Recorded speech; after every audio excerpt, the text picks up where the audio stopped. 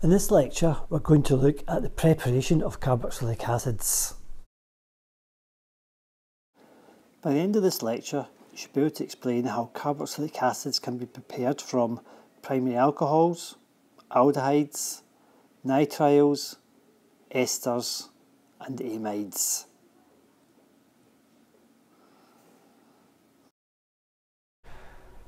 So far in section 2.4 we've covered after introduction we've done alkenes haloalkanes alcohols and ethers.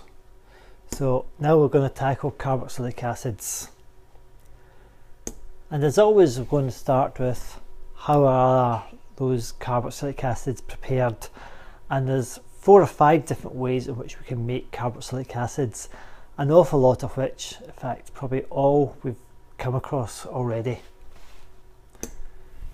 so the first one, or sometimes people count it as two different methods, would be the oxidation of primary alcohols or the oxidation of aldehydes. And this is something that we've came across in the higher.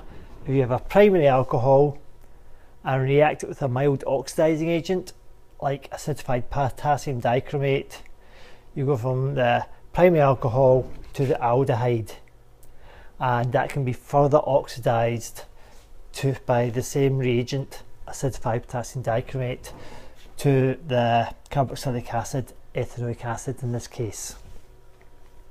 Remember it's only a primary alcohol that will oxidize eventually to a carboxylic acid. The secondary alcohol gets oxidized to ketone and no further and the tertiary alcohol doesn't get oxidized at all. So it's got to be a primary alcohol or an aldehyde in order for the oxidation to produce a carboxylic acid. The second method, which you've come across a lot, is the hydrolysis of an ester. So here's an ester here. When you hydrolyze it, you'll break this bond here, stick an OH onto the carbon with the double bond O to produce our carboxylic acid and the H onto the OR group to give you the alcohol. This could be carried out by either acid or hydroxide catalyzed hydrolysis.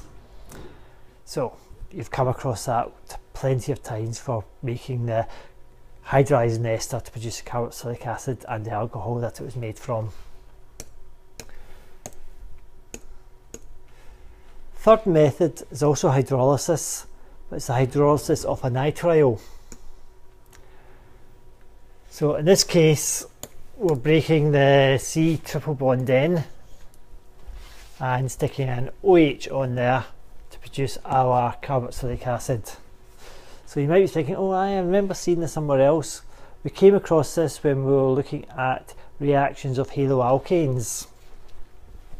Uh, if you had a haloalkane, and you reacted it with uh, ethanolic cyanide ion. Now it's ethanol, ethanolic because you didn't want water to be around because if you had water around the halogen would be replaced by an OH to produce an alcohol. You get nucleophilic substitution, the CN substituting for the halogen giving you RCN. And then it was mentioned previously, but we'll just reinforce it now. So then the acid hydrolysis of the CN bond can give you a carboxylic acid.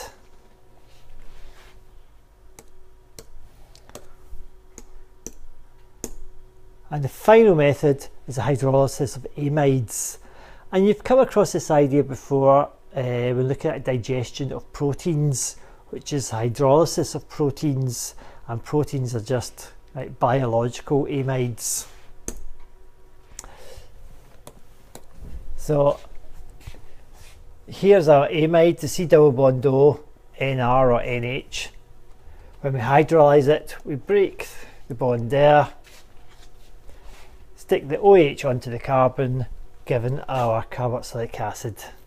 Okay, So you have come across all five of those methods before. So that's just a reminder of all the different ways that we can make carboxylic acids.